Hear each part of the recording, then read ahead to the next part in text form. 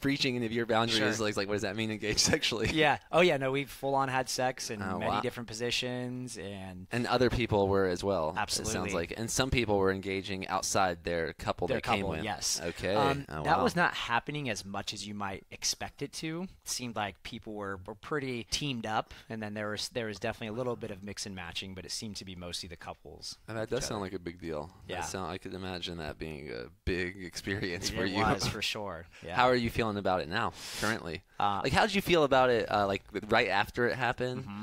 And then I heard a little bit how you felt during it. How did you Yep. feel about right after, it, like the day, that day, the day Yeah. after, and compared to how you feel now about it? not too differently. Like very stoked we did it. Like open to exploring that kind of experience and energy again. Now going into it, it was very different. I'm very open to and wanting to break normal with some of the the taboos around sex.